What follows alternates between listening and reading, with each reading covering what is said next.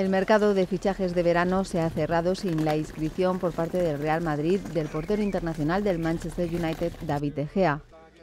El último movimiento del conjunto blanco iba a ser la llegada del guardameta internacional español, pero el jugador no fue inscrito a tiempo en la Liga de Fútbol Profesional por una documentación que no llegó en el plazo, por lo que su contratación no se produjo. Como consecuencia, el meta costarricense Keylor Navas, que iba a ser traspasado al club inglés, también permanece en el Real Madrid. El caso de David De Gea ha sido una de las claves del mercado de fichajes de la Liga 2015-2016. El portero, de 24 años, fue nombrado mejor jugador de los Diablos Rojos las últimas dos temporadas y no ha sido convocado para ninguno de los cuatro partidos oficiales del Manchester United en este inicio de temporada ni para el partido de vuelta de la fase previa de la Liga de Campeones ante el Brujas.